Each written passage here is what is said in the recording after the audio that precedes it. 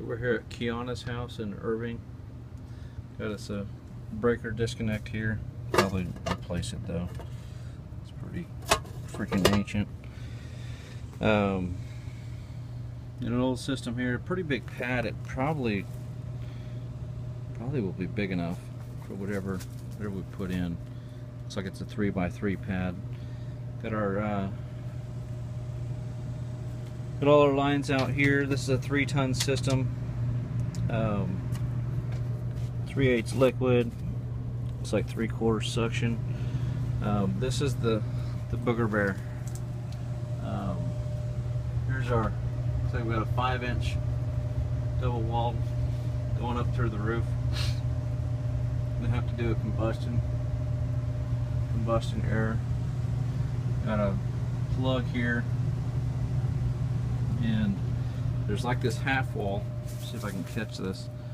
There's an um, access right down under there to pull off if we need to access the coil. This is a downflow system, so um, this obviously is return here. We'll probably keep the four inch filter base. Might want to, I don't know, raise raise this up a little bit. Put a four inch filter base and the coil is down. Let me get a light.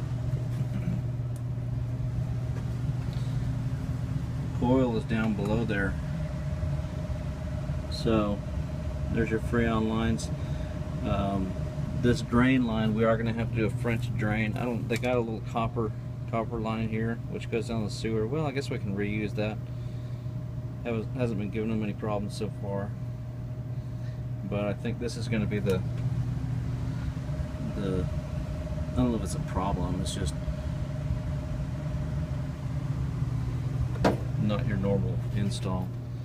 Um, and I'll get measurements and everything for the width. Looks like it's about 24, 25 inches wide, so we should be fine.